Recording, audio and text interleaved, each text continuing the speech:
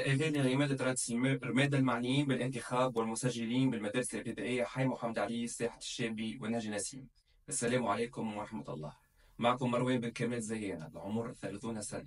قاطن بالحي بحي محمد علي رادس متحصل على شهادة تقني في المحاسبة وتقني سامي في التجارة الدولية. حياتي المهنية بدأت في عمر 21 سنة في القطاع البنكي كمكلف بالتشكيات.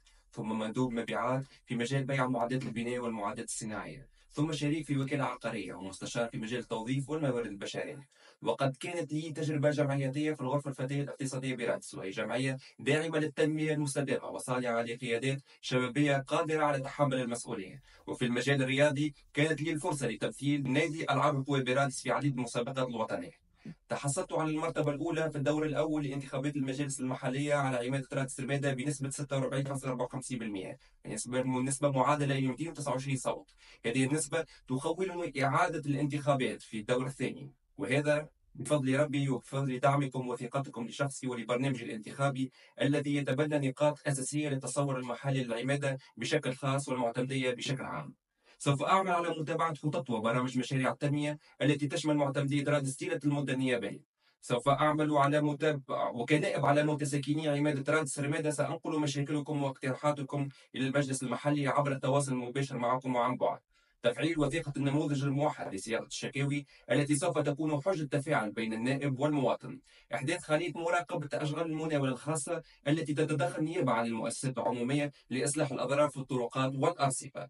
إحداث خلية لمراقبة الوضع البيئي للشاطئ ووضع استراتيجية للحد من التلوث الناتج عن مياه الصرف الصحي المتدفقة عن باقي المعتمديات نحو محطة تطهير برادس سأعمل على مقترح تهيئة السوق الأسبوعي لرادس والحد من الانتصاب الفوضوي أمام منازل المتساكنين.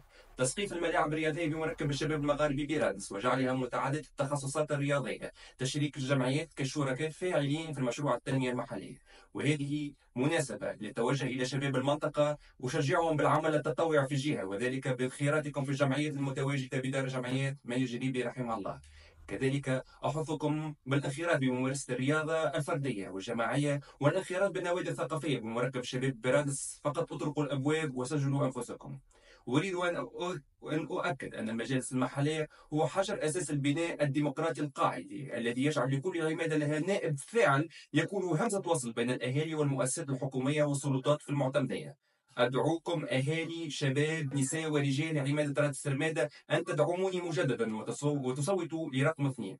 وفي الختام أسأل الله أن يوفقني لما فيه خير لهذا الوطن وأن أكون عند حسن ظنكم. تحيا تونس وتحيا معتمدية رادس والسلام.